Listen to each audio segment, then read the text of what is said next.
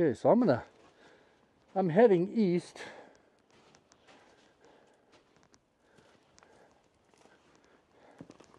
Down Nine Mile. They call it Frank's Canyon. This is Nine Mile Road over here, and this is the Frank Canyon Road right there. So I've never been down that way. This is as far down as I've ever been on this road.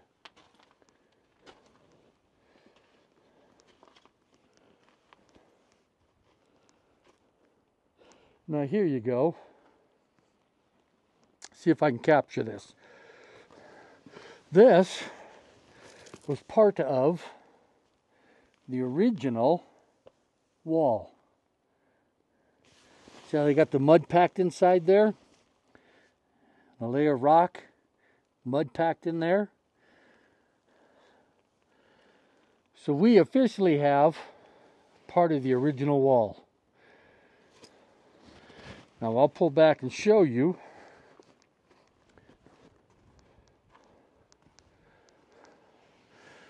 This whole section right here.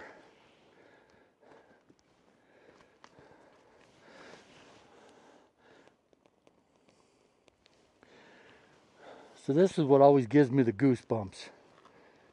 Thousand years ago, human hands touched that, built that, packed it in there. And to this day, we can see it.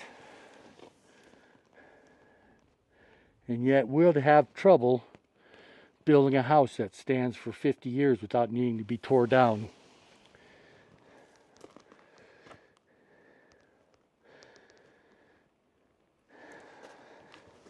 Just kind of looking down through here, seeing if maybe we might get lucky, but I have a feeling if anything was here at one point, it's been picked over pretty well.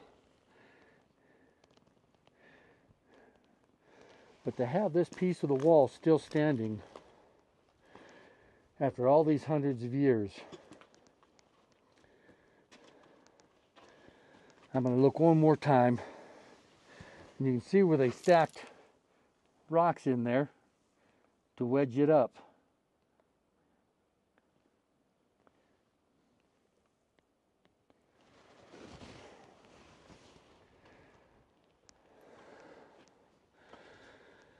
So we're going to continue down the cliff face a little bit.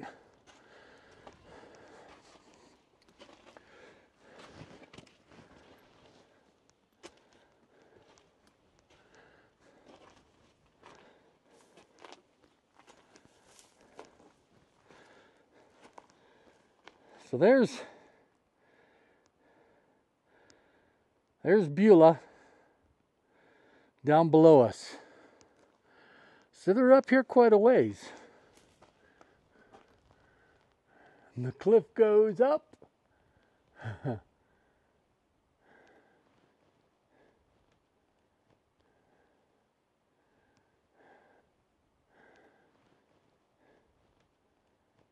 Hopefully this place is fairly geologically stable.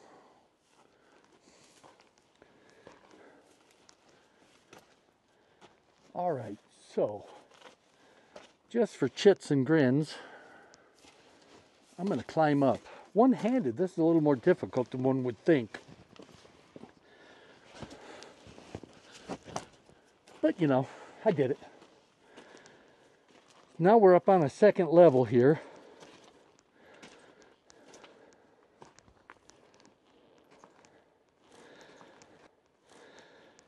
There was the wall that we were at. Coming down the canyon just a couple of feet this way.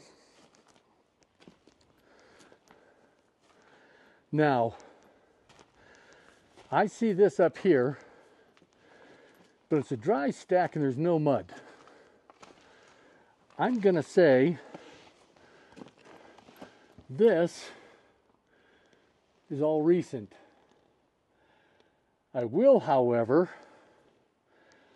say that that is proof that there was a wall here originally, and that is part of it. You can see where they added mud and rocks to stabilize it underneath. That is missing from the upper structure, but the base course you can see is there.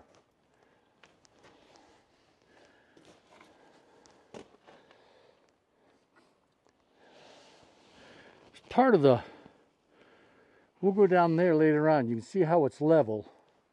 I think this all, based off of rocks, was part of their living platform down through here.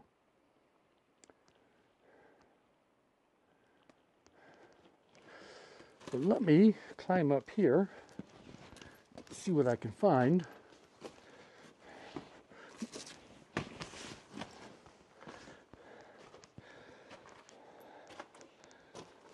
So, disregarding the new structure here, I'm confident in saying that there was a wall there. This is the view they had.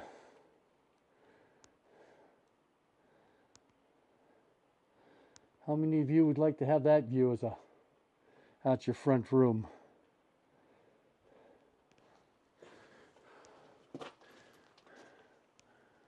I don't see any evidence. There's some rocks waiting to come down on top of us of smoke here, though. So my guess is this was potentially a storage area, maybe, as opposed to a living area with a fire and you know beds.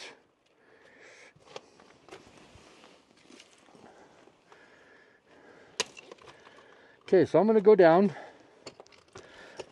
Oh, bear with me. I'm sitting my butt down. There you go. But again, I'm going to go with that's where the original wall was.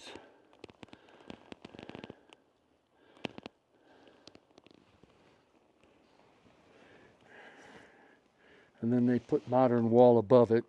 People always got to do that.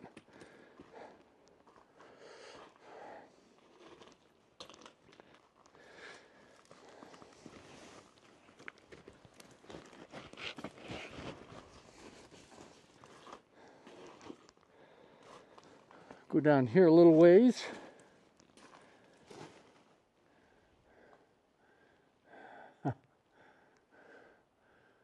I mean, you can see there's a hundred percent there was something up here, cliff dwelling. But it wasn't such that they were putting fires up against it. So they had the structures built out, and the fires were inside the structures away from the wall. I am seeing no fire blackening. We're going to go back here a little ways.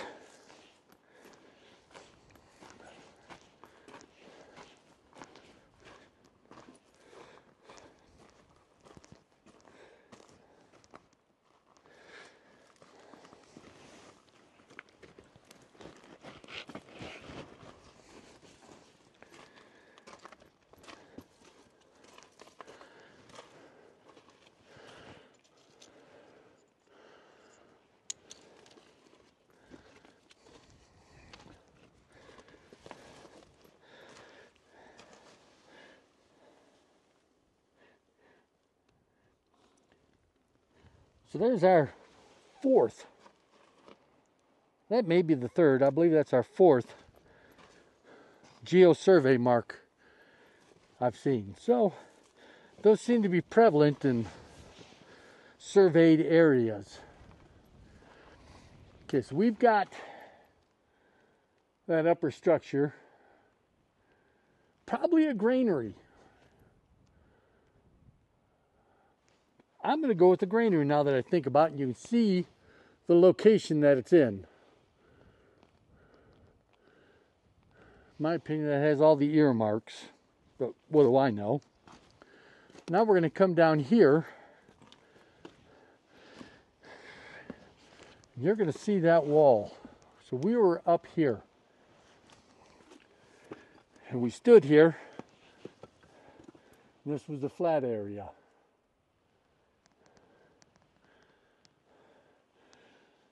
You come down here and you can see mud, leveling rocks.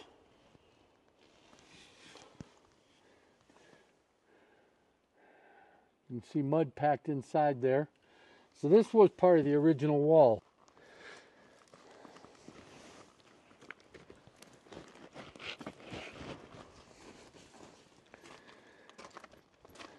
Oh, good.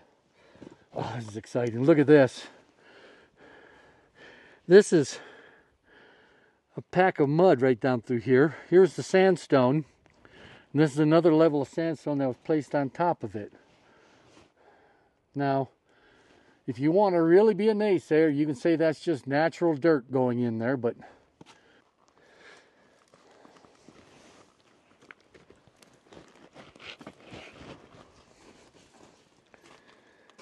if it was, you wouldn't see such large particulates.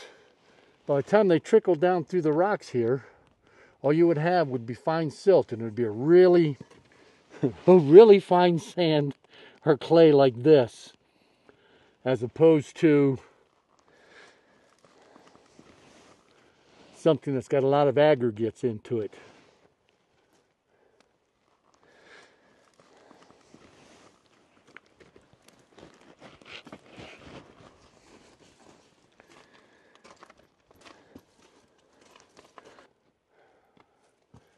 So you can see this was mud packed here, here. And I would say this is probably even where the mud has got washed away, but the rocks are still there.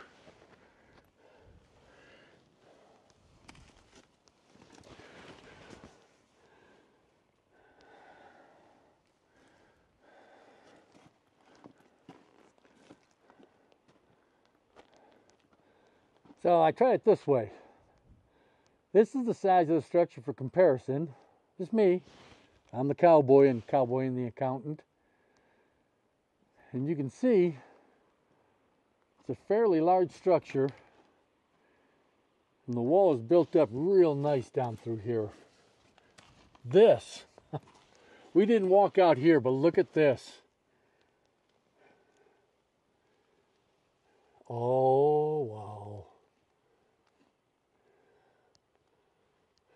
Any of you having doubts still? I'm getting excited, sorry. Talking loud. I'm going to shut down for a second and take some pictures with my big camera and then I'm going to continue this on. This is hand packing. Look at this. Is that not gorgeous? that's magnificent. I can't believe how exciting that is to actually see that after all these years.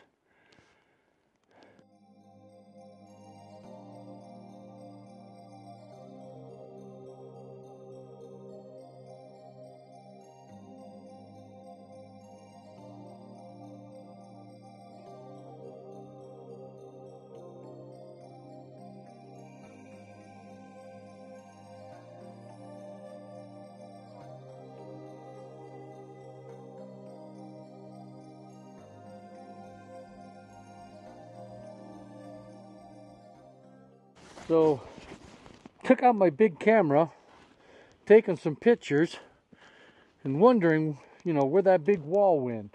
Whoops, sorry, let me get you back down here to, there we go. Get you back down into here. And then you realize that while I was taking the pictures, I was standing on what remained of the wall.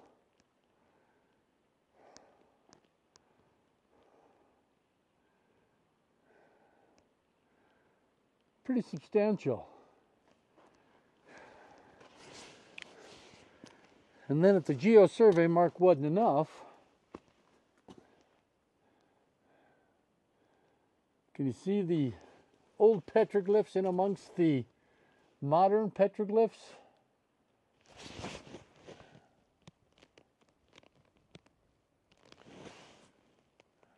Oh, I haven't figured this thing out yet.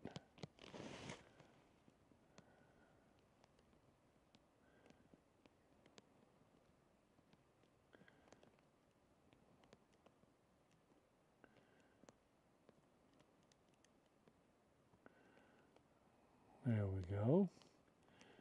Now we're going to come out.